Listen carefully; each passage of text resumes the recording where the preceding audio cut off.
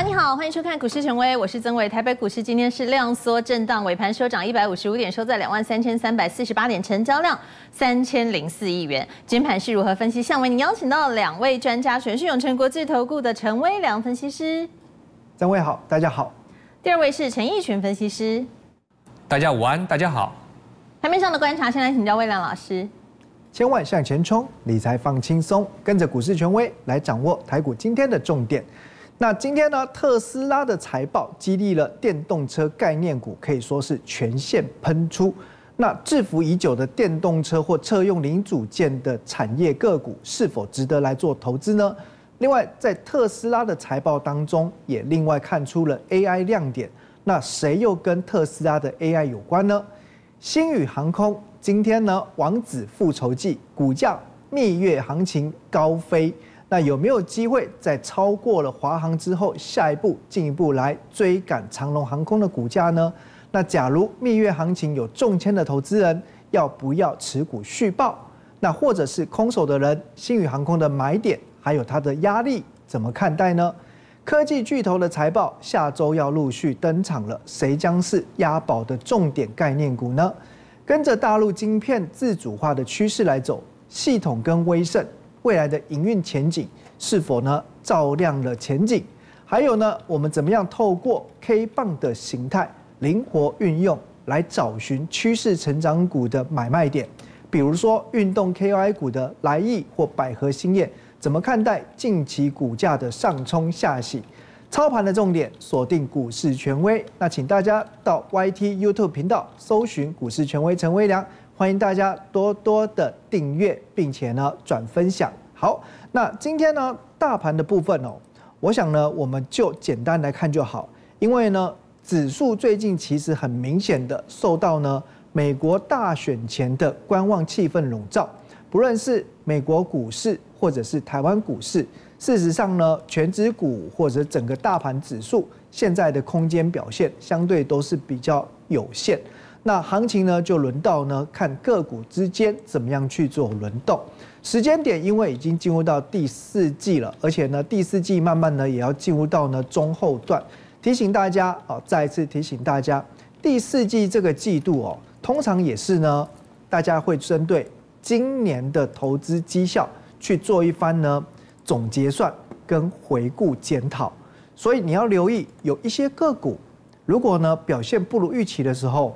可能呢要发挥断舍离的精神，好，该卖就卖了，好，不要呢再拖拖拉拉的，这个等于也其实是在凌迟自己啊，好，那而且我们也讲到很多呢，今年已经大涨过的题材族群个股，如果呢慢慢有出现转弱，甚至是头部形态的时候，那也要特别小心，会不会是温水煮青蛙的效应？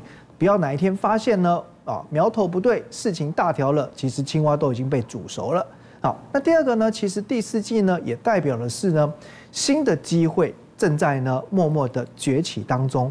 虽然呢，最近的行情比较压缩，大盘量缩，像今天也大概只有三千亿元。可是其实呢，我们不是消极的在被动等待，而是呢，更应该要积极的主动观察现在盘面的资金如何移动。从哪一些高基期的股票正开始移动到低基期的股票，或者说呢，又有哪一些哎今年几乎没有涨到的股票，甚至它根本都还没有利多消息，结果股价呢已经默默的在冒出头，因为这种类型的股票往往非常有机会就成为隔年度的大标股，所以如果你想要呢及早卡位明年能够翻倍的股票，其实第四季。就是最重要的时机哦，那一定要把自己的投资心态节奏调整好，该太弱换强的，那真的不要犹豫哦，把握黄金时期。那我们今天呢，先从特斯拉的财报来谈起。昨天特斯拉的股价一口气涨了将近二十二趴，那是不是因为呢它的财报跟展望非常非常非常好？其实我倒也没有觉得呢，真的好像呢棒到不可思议的那么好。其实很多时候，股价的反应都跟它所处的位阶有关。你看哦，公告财报跟展望的时候，特斯拉它在哪个位置？它在年线。在昨天起涨之前，特斯拉它是在年线哦，这一条蓝色这条线就是年线，所以呢，当你压回到低基期的时候，容易呈现利空不跌、利空出尽。反之呢，稍有利多，可能呢就会让市场哦感到特别的兴奋。这个就是股价跟人性之间的一个微妙关系。哦，所以顺便把这个观念跟各位分享，就是说，有些股票如果在低基期，就算还有利空，就算还有短时间的波动震荡，事实上很可能都是呢机会大于风险。好，这个就是第四季接近年底，我要特别再一次提醒大家的。好，那市场上呢，大家都在谈特斯拉，可是威扬老师想跟你讲的观点，我认为应该跟市场主流意见不太一样。好，那为什么？我带各位来看，今年呢前三季特斯拉全球交车量微缩了大概将近六趴。简单来说，今年它的前三季电动车生产销售的状况是不好的。好，没有问题吧？这边大家了了解。那第三季的营收是成长八趴，好，来到两百五十二亿美元，可是低于华尔街分析师的。预期共识，所以营收表现是低于预期的，但是获利是成长十七趴，比营收成长幅度更大哦，而且是优于预期。好，那为什么营收表现不好，获利成长表现好？通常这代表呢公司的产品组合哦，主要的获利来源有一些调整。那最能够反映的指标就是毛利率，因此我们再进一步看到特斯拉毛利率呢十九点八 percent。远高于市场预期，主要原因请特别注意了，有两点。第一个，它出售排碳的收入创下历史的次高，简单来讲就是碳权。第二个部分是能源业务哦，包括它的储能。那所以这个部分呢，哦，让它的毛利率啊来到历史的新高哦，能源的毛利率是历史新高。好，那特别留意是抵消了电动车的售价下滑。好，所以各位要清楚知道哦，特斯拉亮眼的财报，其实是不是因为电动车卖的特别多，电动车价格越来越好，利润越来越高？完全不是哦。刚刚的文字跟数字清楚的说明给各位听了，电动车的交车量是微缩的，电动车的价格是持续下滑的。特斯拉本身财报的亮眼，是因为碳权跟能源，跟台股之间的相关供应链关联度极低，尤其跟电动车汽车零组件没有关系。所以今天呢，盘面当中，啪一大堆的电动车相关的个股都有非常激情的表演。我认为，当然最主要的原因跟特斯拉本身一样，他们的位阶是低的。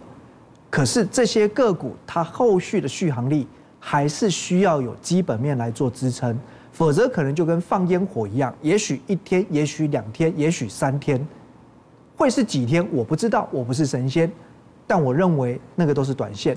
而且不要忘记，特斯拉也提到，现在全世界其实电动车基本上只有它赚钱，所以如果是纯粹电动车的供应链，事实上他们的业绩真的很难有起色。所以大家呢，同样从所谓的特斯拉的财报跟股价当中，其实要能够去分辨投资正确的道路跟方向在哪里，否则你一旦跑错边，就是让你的钱打水漂，浪费了资金。那再者，我们看到哦，特斯拉的财测部分展望也是乐观的，它预期呢，明年的汽车销量可以成长。那另外呢，在它的一个无人的哦这个自驾车上路之后。它的自动驾驶系统将会销售大幅成长，还有它持续哦要去压住 AI 跟扩展资料中心。好，所以呢，特特斯拉未来的亮点，与其说是电动车，我觉得呢，跟它的自驾系统跟所谓的 AI 投资，我觉得更有关系。那我们回到台股来讲的话，哦，其实如果你要买一些电动车概念股，或是扩大到汽车零组件，不是不行。但是呢，我认为，当然首首先的，你要确认公司的业绩是不是在成长的轨迹上。第二个来讲话呢，尽量避免哦，它除了车用之外什么都没有，因为单一产业的风险会比较高哦。那我们来看一下，以国内特斯拉供应链当中，其实近期所分享到的 PCB 的业者定影投控，定影投控呢，这两年它的业绩呢，其实表现都不错。那一方面呢，是高阶的车用版需求持续增加，那包括呢，终端的客户之一也是特斯拉。除此之外呢，公司呢也切入到 AI 市场。好，那也因为有新的订单，所以呢扩增了新的产能。那逐月呢都开出新的产能。那在这个月份十月份呢，产能都可以全部量产开出来贡献。那因此后续呢每个月估计都还可以再多一点五亿元的营收。好，那这个礼拜股价已经在垫高了。好，那本周日公司呢将会公告财报。下个礼拜将会举行法说会，好，那到时候呢，我们再来追踪。好，那进一步来看一下，今天呢非常热门的话题哦，星宇航空挂牌了。那它的蜜月行情哦，当然呢，大家看的可能是目瞪口呆，哇，一天呢可以涨了五十几趴哦，是不是？今天最后呢来到了三十点七五元做收。好，那我要跟各位讲哦。这个挂牌啊，通常第一件事情呢，你要先去注意它到底有几张哦，所谓的承销额度。这些抽签者通常哦，如果价差够大，赚到蜜月的这种算是意外之财的话，通常呢第一天大部分都会卖出，大部分好。那因为呃这一次它大概呢提拨了大概将近八万张，那今天成交量呢超过二十五万张哦，所以显然哦。符合我所预估的哦，今天大部分中签者应该都下车了，都下飞机了哦，因为呢，大家都差不多有赚到一万块钱哦，也都开心的领了一个小确幸的红包。好，那接下来新宇航空值不值得投资？它未来的股价支撑压力怎么看哦？那我们快速带各位来先看一下哦，关于它的基本面的部分，再来带到它的技术跟筹码面。新宇航空呢，以客运来讲，在台湾，哦，它的这个跟几个航空业者比起来，市占率规模来说是占据第三的，好，那大约是来到七个 percent。那货运的部分呢，相对再小一些，大概呢是一点五 percent。好，那所以我们知道呢，哦，这个以目前规模来讲，当然，哦，王子真的要复仇当上国王，好，还需要再努力。不过这没有关系，好，因为呢，所谓的。低市占率、高成长率或低渗透率、高成长率，哦，本来就是呢，诶，有利于股价表现的一个因子。那我们再来看一下，哦，新宇航空目前它的航线，也就是说主要客运的一个占比的部分来说的话，东北亚，哦为主，像飞日本线非常非常多，东南亚跟美国，哦相对是排第二、第三名。那它的成本来讲，哦，跟同业有一个蛮值得一提的特点。就是呢，燃油成本，这是属于变动的成本，它的比重只有二十五趴，那同业大概来到三十趴。好，那这个部分哦，那我们就要去区分现在的油价走势，你们认为是在上涨阶段还是下跌阶段？因为如果是油价在涨的时候，同业的成本压力会比较大，那新宇的压力会相对比较小。那反之，如果是油价呢，哦走跌。哦，甚或不用说走跌，就至少不是在呢大幅上涨阶段的时候，那这个时候反而哦，成本比重比较高的同业受惠比较大，那新宇反而呢就比较没有这种因为成本所带来的更大好处，这样大家可以理解吗？好，所以我觉得这一点到目前并没有对它的业绩状况有加分。好，那我们刚才特别提到的是它的成长性，它的确是特别好，因为呢，哦。随着它新增的哦，不管是说要交机的数量，还有呢新拓展的航线部分，那当然也会带来呢更多的更多的载客数呈现呢哦大幅度的倍增。那我们看从今年开始到二零二九年这几年，新宇航空它的机队规划将从二十六艘到三十三到后年四十七，到二零二九年五十三，所以这个就是它最大优势。简单来说就是成长性。好，进一步呢来谈谈大家所关心的股价的问题。我们直接来跟同业做比较哦，像长隆行跟华航这两大龙头哦，今年跟明年 EPS 呢都将持续衰退，衰退。哦，那我们刚才提到新宇航空最大的优势就是成长性，但它最大的问题在哪里呢？就是昂贵，它的股价昂贵。因为呢，呃，航空股也算景气循环股，而且常常是没有赚钱的，所以通常会用股价净值比评价来取代本益比。那我们可以看到，哦，以今年的 PB 来看。长隆行一点八倍，华航一点七倍啊。就算呢，以明年的 PB 来看，哦，那长隆行是一点六倍，华航是一点五倍。所以无论是用今年或明年的角度来看，大约了哦，两大航空双雄是介于一点五到一点八倍的股价净值比。那新宇航空的每股净值目前是七点四元，姑且算它到今年底来到八块钱，八块钱。那各位。新宇航空今天涨到三十二块钱，它的 PB 股价净值比是反映到了四倍，所以我说，相较于国内同业一点五至一点八倍，它来到四倍，它最大的问题是昂贵。即便它的成长性比较高，就算它的 PB 应该可以比同业高一些，好吧，给它两倍好了。那再怎么样，我认为到四倍，我个人是会觉得投资起来是不太安心的。我不晓得你们的想法是什么。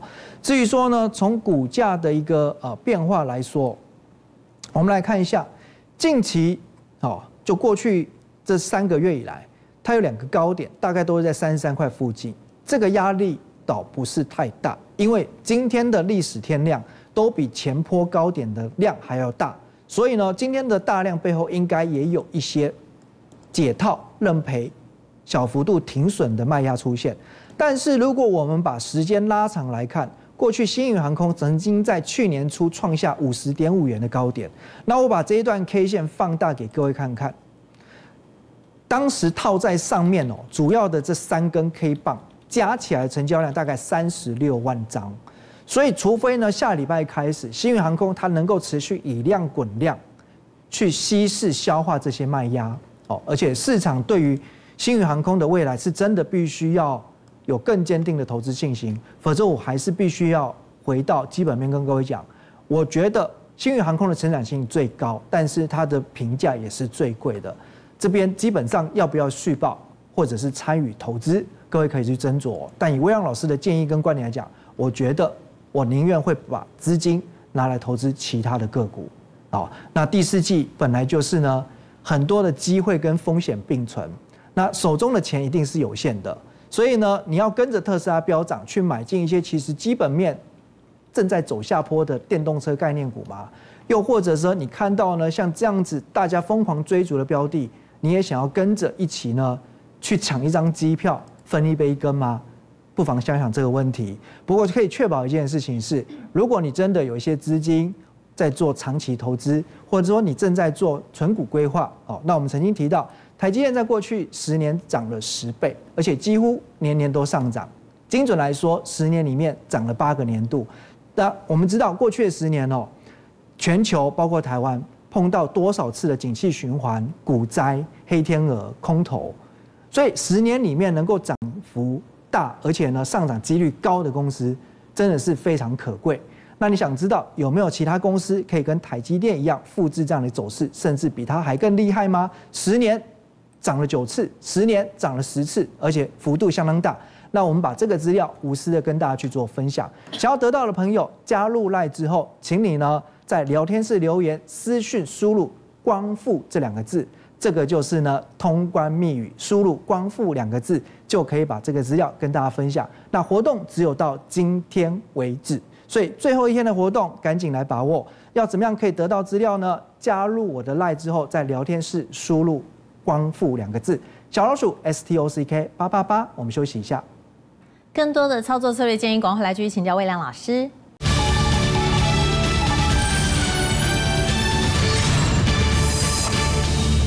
欢迎回到股市权威，再把时间交给魏亮老师。好，连接器呢，六一九七加币奇今天盘中呢，股价突破了近期新高。